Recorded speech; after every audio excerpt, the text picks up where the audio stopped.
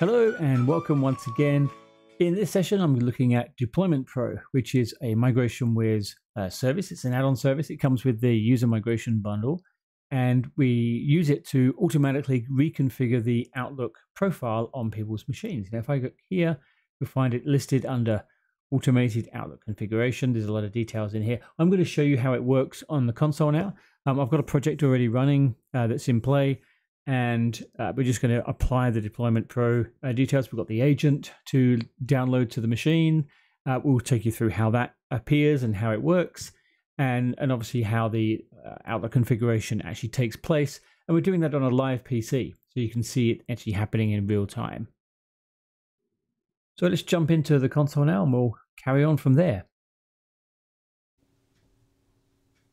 Now this looks very similar to what you've seen before in the demo and we've got our five users set up for our migration. Um, what I want to show you is if I go into here and look at MSP Complete, this is a backend which is linked up to MigrationWiz. And you'll see that uh, if I look at the customers, we'll see there's our CloudMig client. And we go in here, we can see we've got two users, a couple of endpoints, which is all good. And in the users, we'll see that we have our set of people. The DMA status says not installed because we haven't put the agent um, anywhere near those machines or those people as yet. And indeed, if I go into the Deployment Pro console, you'll see that it talks about this being not enabled currently. Now, this is because the Deployment Pro console only comes alive after the first agent is, is installed on the first machine. Then we can go in and start looking at the settings and doing that. So let's let's have a look how we might want to go ahead and do that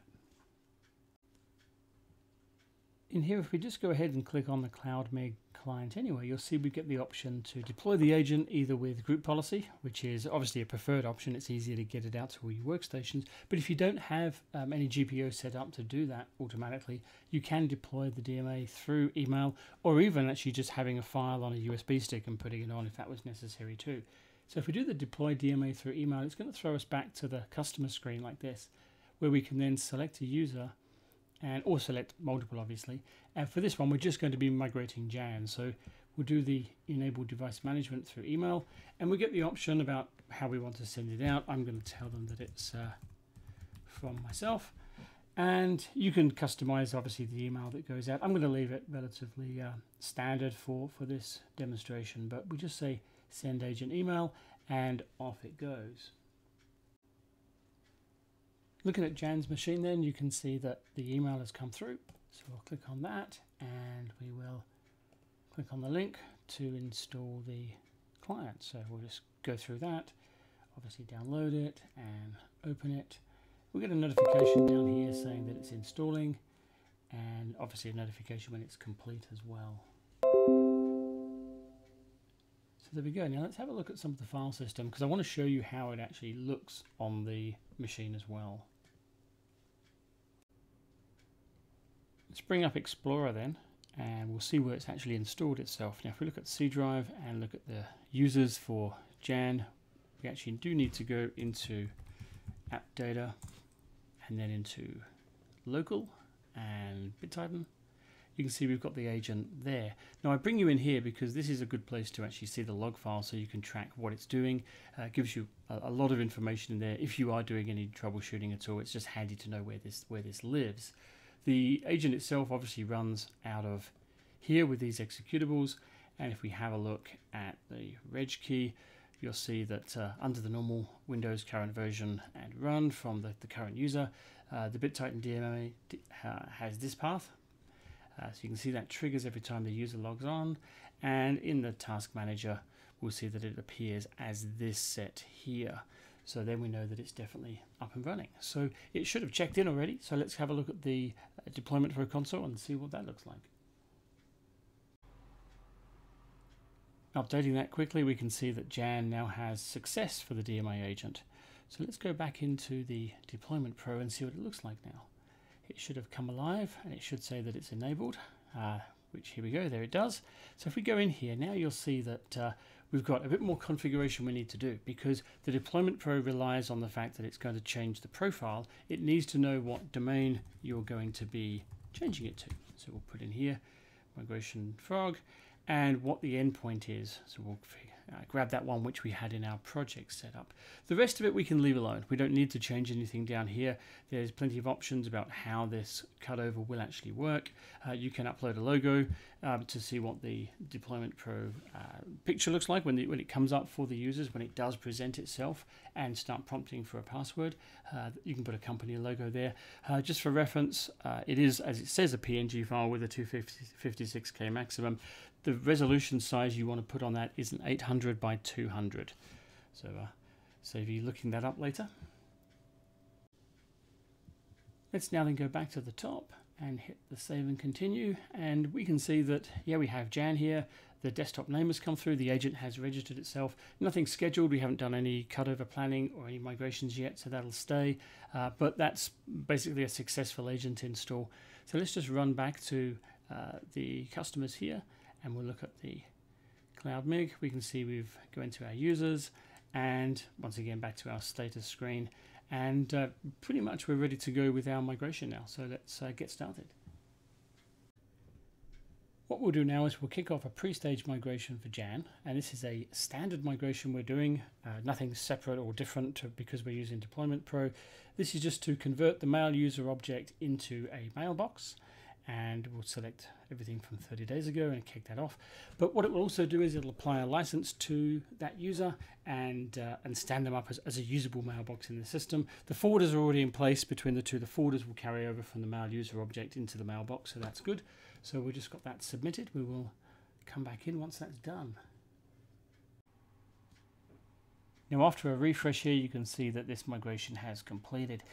What we're going to do now is take this as a Friday night event. So we're going to migrate this user to a full migration for them. And we want them to be automatically cut over when they come to their machine so that the profile changes over to the new tenant and everything is good for that user. So we're going to kick off the migration as normal here. And then I'm going to show you how to schedule up the deployment pro so it happens automatically after the end of the migration. Uh, there's a couple of ways to do that, and I'm going to just take you through those now. So first thing we'll do is we'll kick off this migration here to get that underway, and we'll do a full migration, which is start that, and then we'll jump into the Deployment Pro console and have a look at this user here. Now this one is very easy because we have one user in this batch that we're doing the migration on. But suppose we had a batch of 100 people um, and we had multiple batches of 100 people and that becomes a bit more tiresome to go through and try and schedule these cutovers. So that's where we would use a grouping structure for it. So if I look at my other window here, you can see we've got these users. And what I want to do is just jump into groups because you can see we've got automatic groups based on the endpoints that we have. But what I'm going to do here is I'm going to add a group from a MigrationWiz project. And we'll call this one, uh, let's call this Friday Night Migration and we'll grab the project. Now this will take the, the ones that we have and I'm just going to pick up this Cloud MIG, which is the main one we've been working on. So it's going to have a group of all of those five users. So in this example, we're just going to say we're going to migrate those five users in one go. So once that comes through, we need to give that a couple of minutes to do the processing and pick up those users. So uh, let's let it do that. So now that's finished its processing. If we just click on it just in here, you can see we do have our five users here. But where I want to manage this is actually in the other screen with the Deployment Pro. Because what I'm interested in here is all of the workstations that make up that particular group. So if I were to go and we just refresh to make sure it's got the latest info from that group structure in there. And you can see it's still showing only one person. Now that is because the only person we've installed the agent on is Jan. So that's why it's only showing up here. If we had installed the agent on the other four people, they would be showing up as well. But likewise, if we would run the agent on a thousand workstations, we'd be showing a thousand people in here. So therefore, organizing a schedule for five people out of the thousand and trying to troll through and find those five is going to be a problem. So what we do here is we just have the filter and straight away you can see the groups come up and we can filter it on Friday night migration. So we're going to grab that and look here. Obviously, it's still the same person in this example because Jan is the only one that has, like I said before, has the agent installed. But you can see that if we had the agent installed there, we would see just those five people out of the thousand or 10,000 even people that would be in that list accordingly. What we'll do then is we just click here and we say schedule cutover and we'd probably schedule it and say, okay, if it's going to run on that Friday night, um, we want to make sure that it has plenty of time to run. We'll probably start it like a 4 a.m. cutover. In this case, what I'm going to do, I'm going to give it a, a time and a date of 4.30 because uh, that that's the the closest time for this demonstration to, to make that work. So we'll just do the schedule cutover there. And you can see you get the scheduled for item come up here. So what we do is we'd give it enough lead time for that migration to finish, for that schedule to actually work. We've already done the pre-migration. So we know that the credentials are good and the migration is going to work correctly. So uh, there's there's a very uh, very very low chance of anything failing on that and uh, and that kicking in. But here you can see that it's now also picked up what the destination UPN is, and we are ready to go. We'll wait until that 4:30 timing, um, and uh, and the cutover should occur. So jumping back into the console here, you can see if I refresh that, it's just about finished. I'm dealing with some very, very small mailboxes here, and that's why I've managed to make the, the timing of them so close together. Um, normally, obviously, on a real migration, you'd have things spread apart by, by hours and, and have it working there. But you can see this one, as you can see, is, is just about to finish. If I, in fact, if I refresh a couple of times, it'll probably just complete. But what I'm looking for here is uh, everything to occur on the workstation itself. So I'm going to jump into Jan's workstation and see what it's going to be doing for us. Just quickly before I jump in there, you can see that migration is now completed. So our timing estimate that we had is correct, and we can now have a look at the workstation. And as we do that, you can see it's popped up, the timing is hit, and Deployment Pro is ready to go. So what we do here is we will hit next, and it's saying, what do you want as your new password? Now these are the the password we'd set on the Office 365 tenant. Clearly, when we created the mail user and converted to a mailbox, it was a, a complex password, which is a random one. Uh, this now gives us the opportunity to change that, which I'm just typing in now, and hit create, and away it goes. So there we are, credentials validated successfully, carry on, and it will now do the, the cutover. Now obviously it's saying we need to close Outlook, so we will do that and Skype for Business and Lync. I do recommend also that uh, if you've got Teams running anywhere, uh, you might want to quit Teams as well. Um, and once that's done, you can see it's actually uh, doing the reconfiguration. It happens very, very quickly. So we hit finish here and it will launch Outlook for us. Now what it does is it will obviously point to the new tenant. So it is asking for us to confirm that password again, which we put in and sign in. Now the user can do all of this on their own. They do not need any intervention as long as they've had correct instructions that have gone out for the migration process beforehand and they're obviously able to read the screen correctly and, and, uh, and put the right details in, they are not going to have an issue. You can see there's no actual reboot required or anything like that. It just requires them to shut down Outlook and then come back in and put that new password back in that they uh, that they typed. So what I'm expecting here is we get a brand new um, cutover. You can see it's now looking at the, the migrationfrog.com instead of the, uh, the cloud migration online. And we have all our mail, which we had previously as well.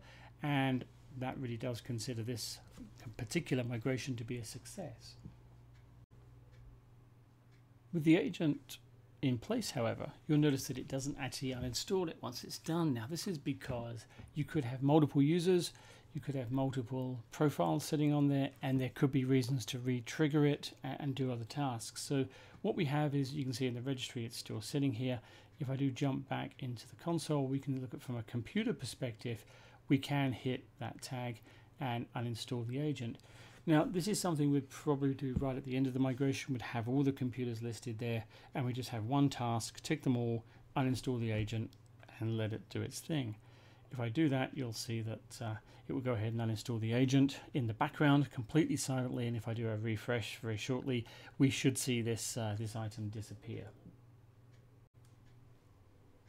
And there you go, refresh, and that is correct. And if I jump into Task Manager, you'll see that those items that were there, which was the Deployment Pro items, have now gone as well. So that is now free of the agent, and obviously we obviously can't trigger it again. We'd have to reinstall it. No problem if you want to go ahead and reinstall it. You certainly can do. Uh, and if we refresh this screen um, it'll come back and report after a bit that it has actually uninstalled and there we go uninstalled. So we're we are clear and good to go. You can do another cleanup task and delete that entry off there but um, you know that that's entirely up to you how you want to run that thank you for watching I hope that was useful to people out there on how the deployment flow works uh, if you need to reach out please do so at the the YouTube channel uh, which obviously is on this one the Cloud Geezer have a look at the cloudgeezer.com uh, on Instagram and all the other socials, LinkedIn and the like. So you'll find me there. Had any questions, just reach out and I'm happy to chat anytime. In the meantime, wherever in the world you are, have an awesome day and bid you farewell. Bye.